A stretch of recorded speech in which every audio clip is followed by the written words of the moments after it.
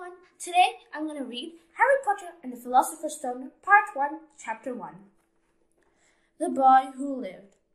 Mr. and Mrs. Dursley of number 4 Privet Drive were so proud to say that they were perfectly normal. Thank you very much. They were the last people you'd expect to be involved in anything strange or mysterious, because they just didn't hold with such nonsense.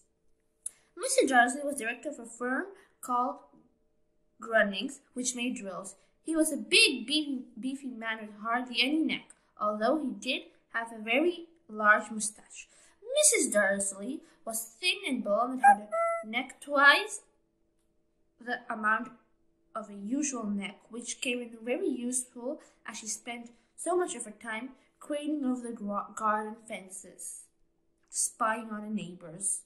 The Dursleys had a small son called Dudley, and in their opinion there was no finer boy anywhere. The Dursleys had everything they wanted, but they also had a secret, and the, their greatest fear was that somebody would discover it. They didn't think they could bear it if anyone found out about the Potters. Mr. Potter was Mrs. Dursley's sister, but they hadn't met for several years.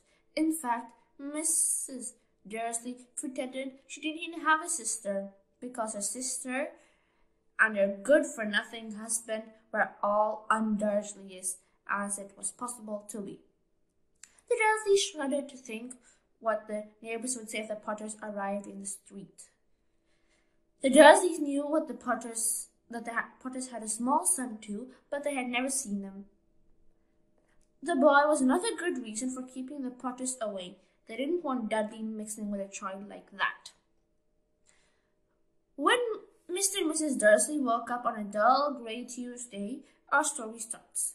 There was nothing about the cloudy sky outside to suggest that strange and mysterious things would soon be happening all over the country. Mr. Dursley hummed as he picked out his most boring tie for work, and Mrs. Dursley gossiped away happily as she wrestled a screaming Dudley into his high chair. None of them noticed a large tiny owl fluttered past the window. At half past eight, Mr. Dursley picked up his briefcase, pecked Mrs. Dursley on the cheek, and tried to kiss Dudley goodbye, but missed, because Dudley was now having a tantrum and throwing cereal at the walls. Little Tek choked Mrs. Dursley as he left the house. He got into his car and backed out of number four's drive. It was on the corner of the street that he noticed the first sign of something particular a cat reading a map. For a second, Mr. Dursley didn't realize what he had seen. Then he jerked his head and looked around again. There was a tabby cat standing on the corner of Privet Drive, but there wasn't a map in sight. What could have what could he have been thinking of? It must have been a trick of light. Mrs. Dursley blinked and stared at the cat. It stared back. As Mr. Dursley drove around the corner up the road, he watched the cat in the mirror. It was now reading the sign that said Privet Drive. No, looking at the sign, Privet Drive. Cats couldn't read maps or signs. Mr. Weasley gave himself a little shake and put the cat out of his mind. He drove towards the town. He thought of nothing except a large order of drills, hoping to get this day. But on the edge of the town, the drills were driven out of his mind by something else. He sat in the usual morning traffic jam. He couldn't help noticing that there seemed to be a lot of strangely dressed people out about. People in cloaks. Mr. Dursley couldn't bear people dressed in funny clothes. The get-ups you saw on young people. People in cloaks. Mr. Dirt. Oh.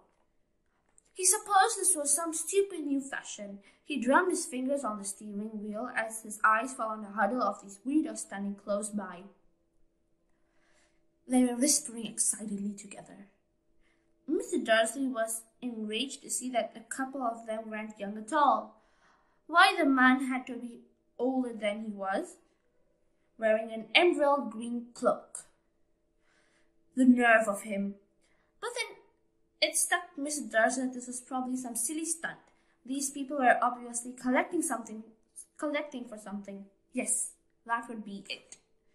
The traffic moved on. A few minutes later, Mr. Dursley arrived in Grunning's car brought his mind back on drills. Mr. Dursley was all sat with his back to the window of his on ninth floor. If he hadn't, he might have found it harder to concentrate on drills that morning. He he didn't see the owl swooping past in broad daylight, though the people down on the street did. They pointed and gazed open mouthed as owl after owl swayed overhead. But most of them had never seen an owl even at night time. Mr. Dursley, however, had a perfectly normal owl-free morning. He yelled at five different people. He made several different important he made several important telephone calls and shouted a bit more. He was in a very good mood until lunchtime, when he thought he'd stretch his legs and walk across the road to buy himself a bun from the baker's opposite. He'd forgotten all about the peoples in cloaks until he passed a group of them next to the baker. He eyed them angrily as he passed. He didn't know why, but they made him un- but he, they made him uneasy. This lot were whispering excitedly too. And he couldn't see a single collecting tin. It was only his way back he passed them, clutching a large doughnut in his in a bag. He caught a few words they were saying. The Potters, that's right, that's what I heard. Yes, their son Harry. Mr. Dursley stopped dead. Fear flooded in him. He looked back at the whisperers and if, as if he wanted to say something, but then thought better not to.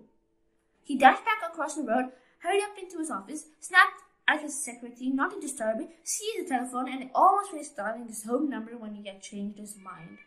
He put the receiver back down and stroked his mustache. No, he was being stupid. Potter was such an un, such usual name. He was sure that lots of people called Potter who had a son called Harry. Come to think of it, if he wasn't even sure his nephew was called Har Harry, he'd never even seen the boy. It might have been Harvey or Harold. There was no point of worrying. Mrs. Dursley. She always got so upset at any mention of her sister. He didn't blame her if he had a sister like that. But all the same, those people in cloaks.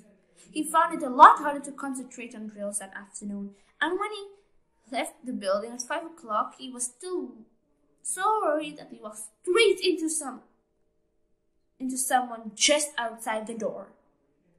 Sorry, he grunted at the tiny old man and stumbled. Almost fell. It was a few seconds before Mr. Dursley realized the man was wearing a violet cloak. Mr. Dursley realized the man was wearing a violet cloak. He didn't seem at all upset at being almost knocked to the ground. On the his face split into a wide smile and in his quick little voice that made passers-by stare. Don't be sorry, my dear sir, for nothing could upset me today. Rejoice, for you know where it gone at last. Even muggles like yourself should be celebrating this happy, happy day. The old man had hugged Mr. Dursley around the middle and walked off. Mr. Dursley stood rooted on the spot. He had been hugged by a complete stranger. He also thought he had been called Muggle, whatever that was.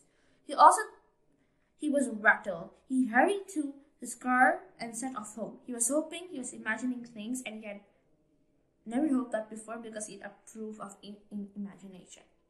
He pulled, as he pulled into the driveway of number four, the first thing he saw, and it didn't improve his mood, was a tabby cat. He spotted that morning. It was now sitting on the garden wall, he was sure it was the same one. It had the same markings around its eyes. Shoo! said Mr. Dursley loudly. The cat didn't move. It just gave him a stern look. Was this the normal cat behavior? Mr. Dursley wondered. Trying to pull himself together, he led him inside the house. He was still determined not to mention anything to his wife.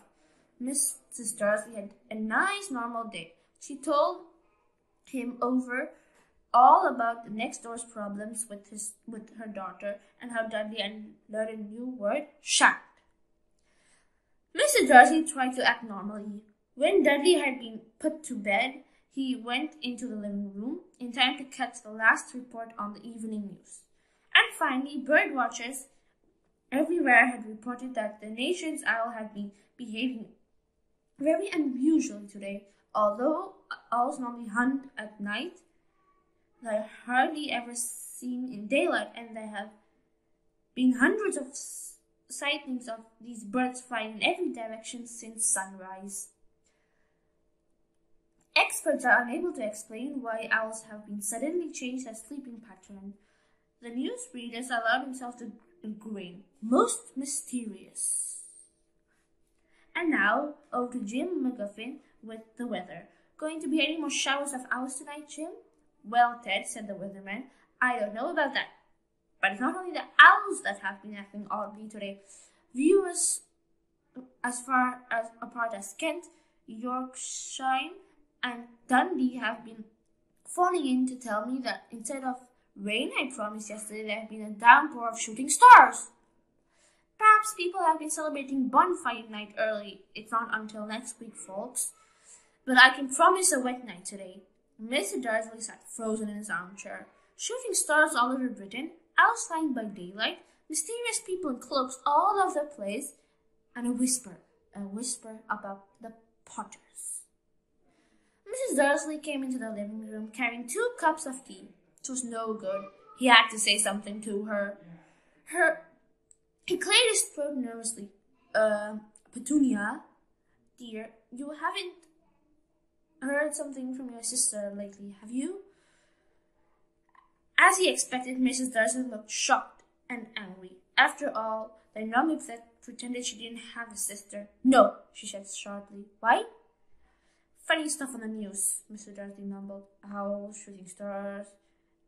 And there are lots of funny looking people in town today. So, said Mrs. Dursley, well, I just thought maybe it was something to do with, you know, her a lot. Mrs. Dursley sipped her tea through pursed lips. Mr. Dursley wondered whether he dared to tell he'd heard the name Potter. He decided he didn't dare. Instead, he said casually as he could, Their son. He'd be about Dudley's age now, wouldn't he? That was part one of chapter one Harry Potter and the Philosopher's Stone. I'll continue with part two a few days later. Thank you for watching. Bye!